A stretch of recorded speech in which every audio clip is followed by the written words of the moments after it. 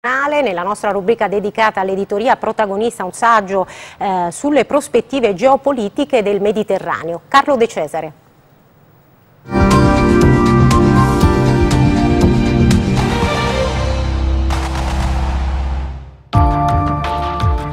Il bacino del Mediterraneo rappresenta una grande realtà storica e culturale dalle potenzialità non sempre valorizzate.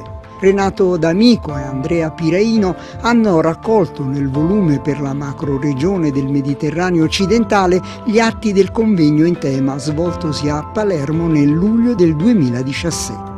Per gli autori la creazione di una macroregione contribuirebbe ad assicurare in prospettiva una presenza dell'Europa in un'area dove allo Stato l'Europa stessa non riesce ad esprimere una posizione unitaria e dove gli effetti della globalizzazione di fatto mortificano i diritti dei più deboli.